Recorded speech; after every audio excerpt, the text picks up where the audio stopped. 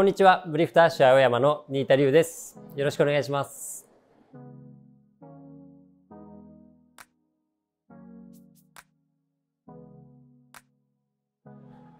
いや、もうとにかく肩の荷が下りたなという、約4年間背負ってたんで軽いですね。軽い。なんかはい。朝起きたらちょっと寝起き良かったです。はい。あ、そうですね。本当に背負ってたものが、えーあったんだなっていうのは意識しなかったですけど、うん、やっぱりありましたね。で、うん。まだでも、なんか、いざなってみたら、な、実感みたいなものはまだそえ得られてないというか、なんか、チャンピオンとしての振る舞いとか、もうよくわかんないですし、まあ、磨くのは、だけはまあ、自信はありますけど、なんかそれ以外は、まだまだ、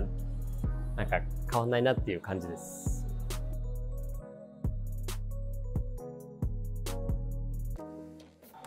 あとは祈るしかなかったんで、自分のやれることはやったので、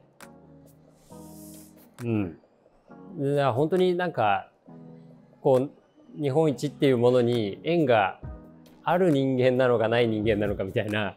結構そういう、まあ僕考えがちな人間なんで、そういうふうに思ってたんですけど、まあ本当になんか取らせてもらえたというか、取れてよかったなっていう感情が素直に出た、よっしゃーってなったと同時に、ああ、もう疲れたみたいになって、結構なんか、ああ、みたいなので、こう結構バタンってなりましたね。なんか、すごいあの時の感情だけでもジェットコースターでしたね。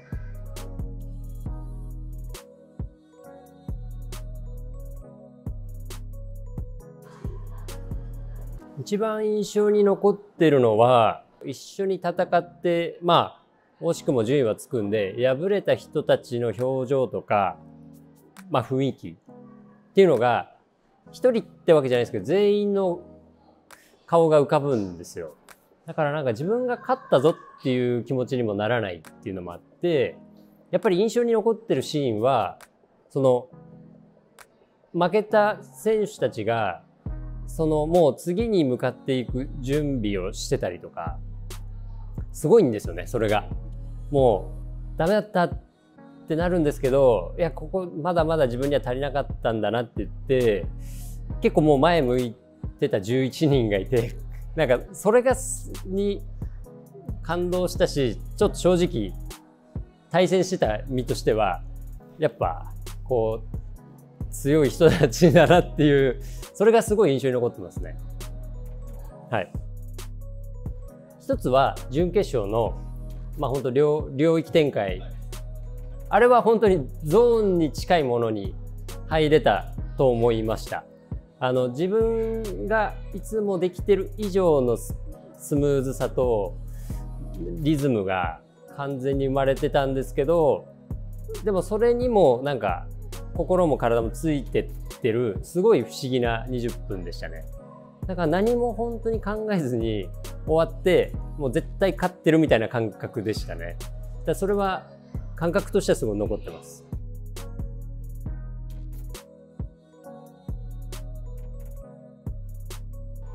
僕にとってはも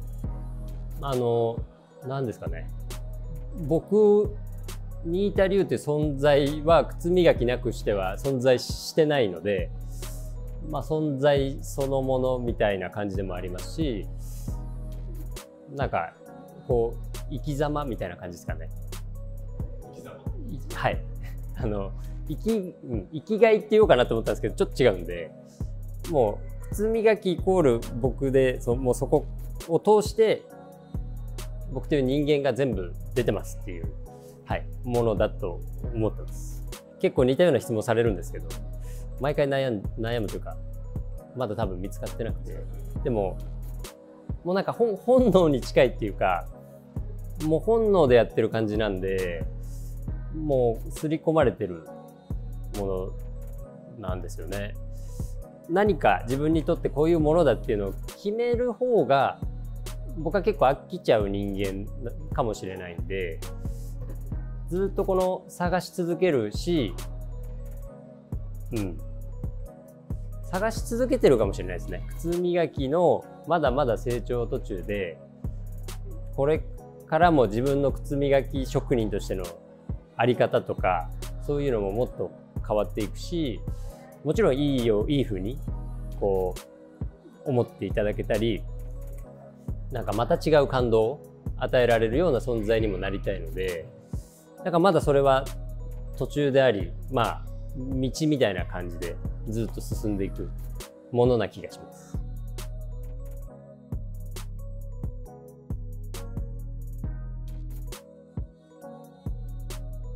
はい、え